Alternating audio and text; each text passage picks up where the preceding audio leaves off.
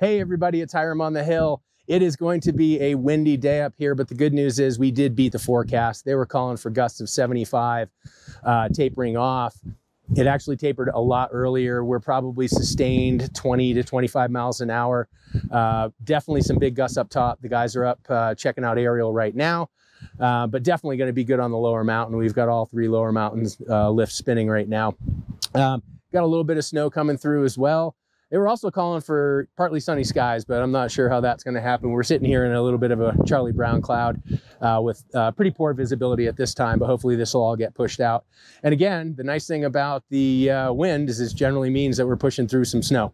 So thanks a lot for all of you coming up. Uh, we've been very busy this season, and we're happy to be able to provide this little respite for you up here on the mountain. And that's right where we'll see you.